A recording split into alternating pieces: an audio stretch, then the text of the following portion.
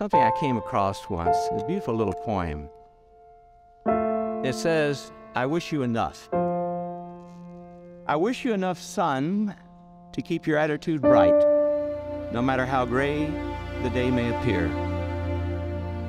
And I wish you enough rain to appreciate the sun even more. And I wish you enough happiness to keep your spirit alive and everlasting. And I wish you enough pain so that even the smallest of joys in life may appear bigger. I wish you enough gain to satisfy your wanting. And I wish you enough loss to appreciate all that you possess. And I wish you enough hellos to get you through to the final goodbye.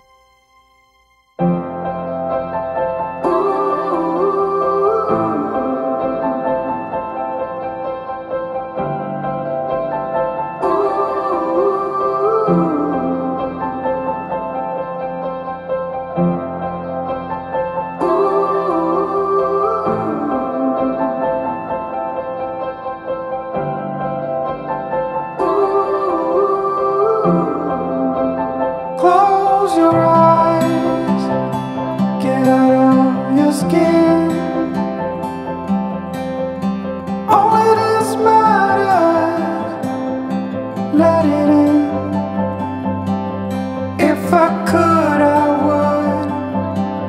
would be right here with you.